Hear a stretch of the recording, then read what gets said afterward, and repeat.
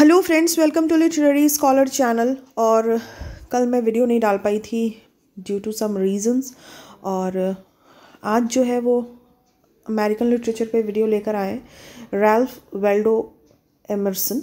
सो इनका बर्थ जो है वो 1803 बॉस्टन में हुआ। डेथ इनकी ट्वेंटी सेवन अप्रैल 1882 कॉन्कॉर्ड में हुई। दोनों यूएस में ही है। सो इन 1820 उन्होंने अपना पहला जर्नल स्टार्ट किया, जिसका नाम था द वाइड वर्ल्ड और उसके बाद इनका फ़र्स्ट एस्से जो है, वो नेचर करके आया ऑन सेप्टेम्बर नाइन्थ 1836 में. Emerson was an American essayist lecturer philosopher poet who led the transcendentalist movement in the mid nineteen century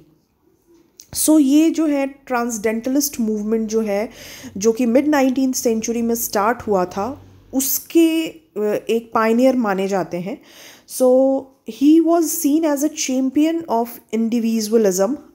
हम ट्रांसडेंटलिज्म पे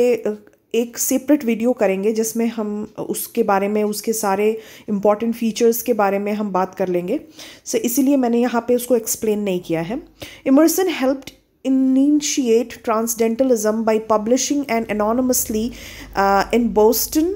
uh, in 1836 a little book of 95 page entitled nature so nature की nature जो ऐसे इन्होंने लिखा उसी से ऐसा माना जाता है कि इन्होंने ट्रांसडेंटलिज्म का एक एक को एक पुश दिया था मतलब यही मैगज़ीन जो थी उसके आने के बाद या इस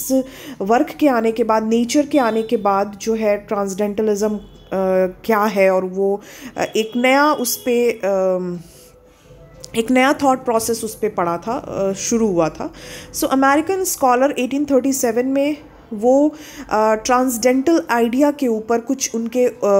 लेक्चर्स थे, उनके कुछ ओरेशंस थे, जिसका कलेक्शन था अमेरिकन स्कॉलर जो कि 1837 में आया एमर्सन का। अब इनके कुछ अगर इंपॉर्टेंट वर्क की बात करें तो एस फ़र्स्ट सीरीज़ 1841 ये जो है, इस जो इनके वर्क में 12 ऐसे थे, जिसमें कि कुछ इंपॉर्टेंट ऐसे जो इनके जनरली इनके जो इंपॉर्टेंट ऐसे माने जाते हैं, उनमें से एक है, जिसमें self reliance compensation the over soul circle ये सारी आती हैं। फिर दूसरा इनका वर्क है द सेकेंड सीरीज़ एस से सेकेंड सीरीज़ 1844 ये जो है, इसमें नाइन एस से आया था और इसके जो कुछ इंपॉर्टेंट एस थे, वो थे the poet experience politics gifts Representative Men is a collection of seven lecture of uh, Emerson published as a book of essay in 1850. So इनका representative men जो है ये uh, 1850 में इनका वर्क आया जिसमें seven lectures थे Emerson के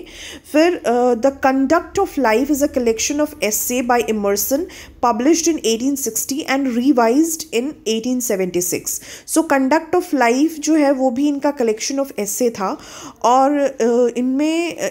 इसको पब्लिश किया इन्होंने 1860 में, फिर इसको रिवाइज किया था 1876 में। अब अगर कुछ इंपॉर्टेंट ऐसे की बात कर लें अपार्ट फ्रॉम दोज जिसको कि हमने अर्लियर देखा है सो उसमें इनके अदर जो ऐसे हैं, उसमें history compensation circle the oversoul intellect spiritual law heroism prudence the poet Saadi friendship experience ये कुछ इनके इंपॉर्टेंट ऐसे हैं जो कि जिनकी वजह से एमर्सन को जाना जाता है। फिर इन्होंने कुछ पोयम भी लिखा था, जिसमें Concord hymn